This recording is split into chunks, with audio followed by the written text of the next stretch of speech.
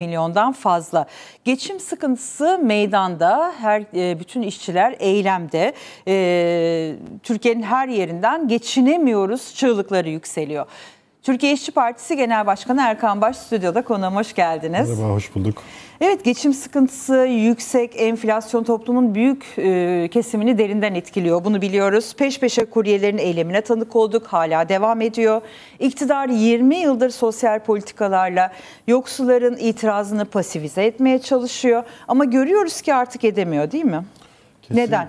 Yani en özet halde şu, hani hepimizin yaşadığı e, boyutuyla her şeyin fiyatı artıyor ama işçi maaşları, çalışanların emeklerinin karşılığında hak ettiği ücreti alamaması problemi büyük ölçüde devam ediyor. Ee, bir de tabii özellikle bu pandemiyle birlikte e, hatırlayacaksınız böyle işte hepimiz aynı gemideyiz, büyük bir kriz yaşıyoruz falan diye. Aslında toplumun çok geniş kesimleri belli bir süre bu yaşadığımız ekonomik krizin aslında olağanüstü bir durum olduğuna ikna edildiler ve hani hep beraber diş sıkacağız diye düşünülüyordu. Fakat artık yavaş yavaş şu ortaya çıktı ki bu bütün toplumun dişini sıkması beklenen dönemde patronlar, büyük sermaye, servet sahipleri servetlerini arttırmaya devam etmişler ve e, hani son zamanlarda bana sıkça soruluyor işte neden bu işçi eylemleri hmm. birden böyle patladı diye.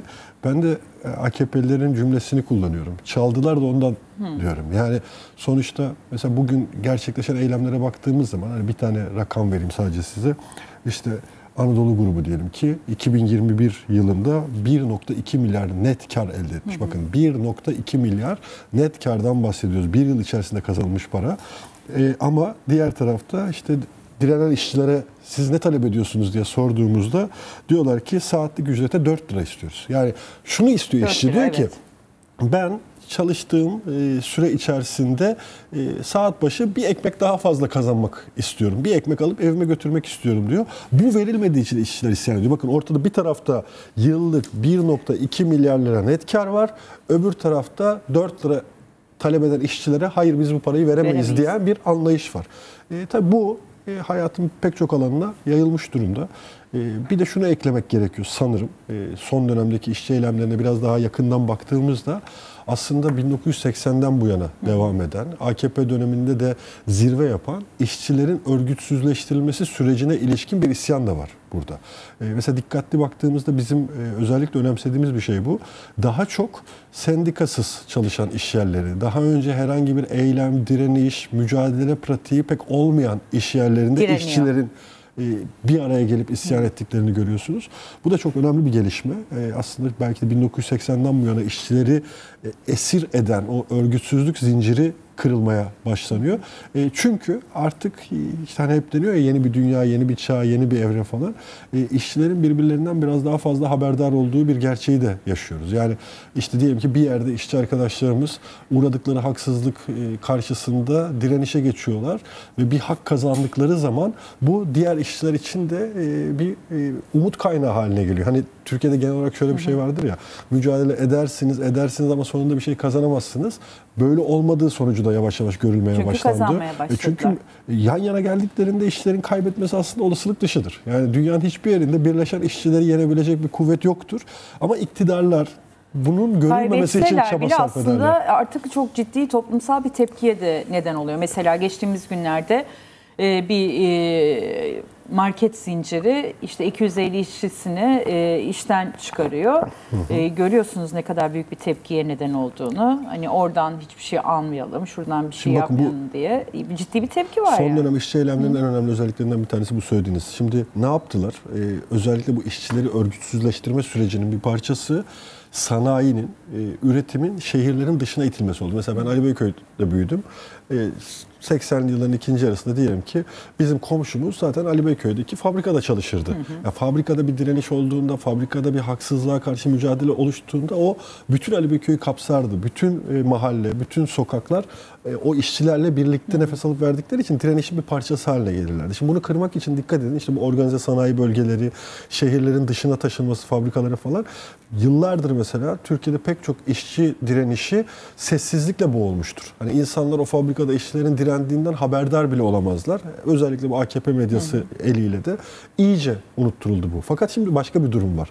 Hepimizin evine girip çıkan insanlar direniyor şu anda. Mesela hı hı. E, kuryeler bu direnişin en önemli halkalarından bir tanesiydi. Ya da işte mağazalar, marketler, burada çalışan işçiler, hizmet sektörü. Yani siz bir işçi olarak hı hı. o işçiyle bir duygudaşlık kurmanın yanı sıra aynı zamanda o işçiyle doğrudan temas ediyorsunuz. Hı. Dolayısıyla ne oluyor? Bu direnişler toplumsal bir boyutta kazanıyor. E bir de bu kadar açık haksızlıkların olduğu yerde hani insanların buna destek olmaması, bununla dayanışma içerisine girmemesi zaten akıl alır bir şey değil.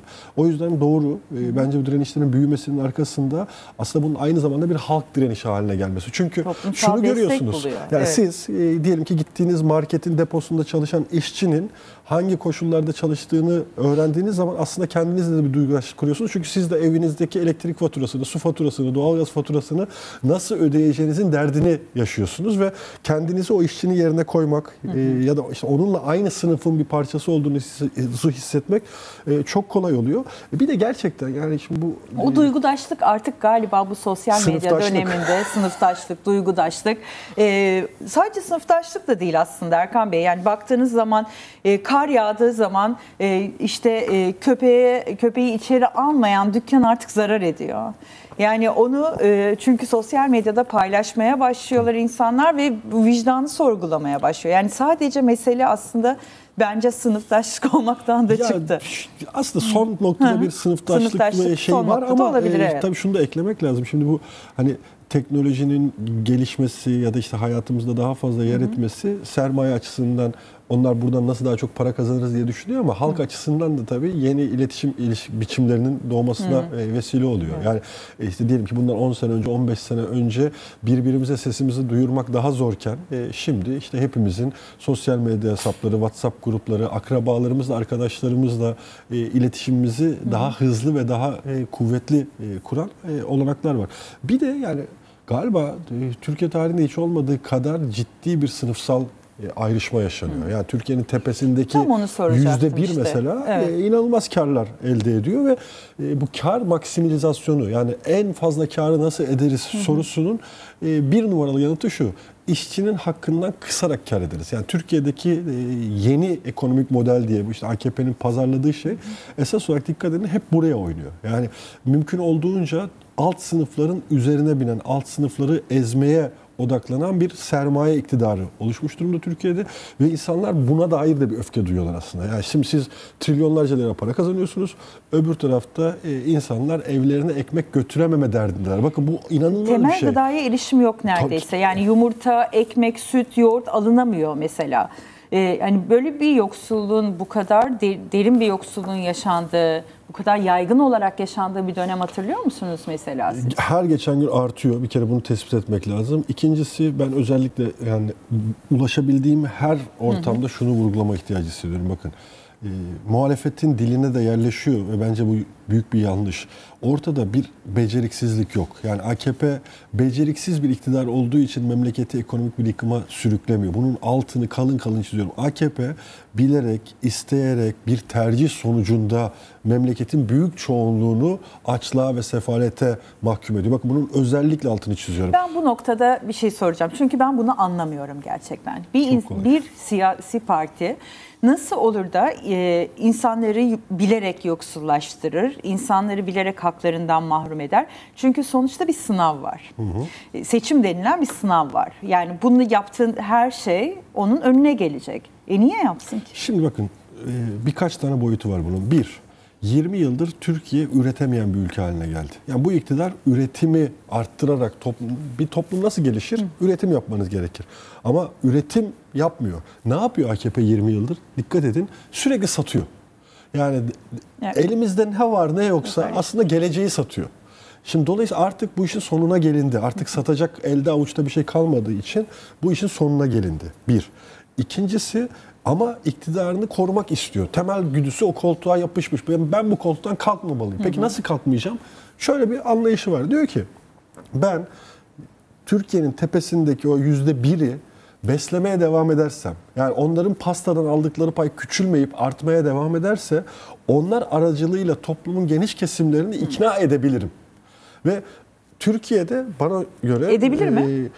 Ben edemeyeceğine inanıyorum. Fakat başka bir çare görmüyor kendisi açısından. Çünkü bakın bizim hani düzen dediğimiz şey, kapitalizm dediğimiz şey ya da işte sermaye iktidarından kastettiğimiz şey aslında AKP'de Ya bizim daha kadar açık biliyor. söyleyelim. Mesela 5 müteahhite her şeyi verdiği zaman o 5 müteahhit aracılığıyla başka insanlara da o- E ulaşıyor. tabii mesela yani. o 5 müteahhit aracılığıyla Halkla arasına beş müteahhit mi o- koru- o- koyuyor? O 5 müteahhit aracılığıyla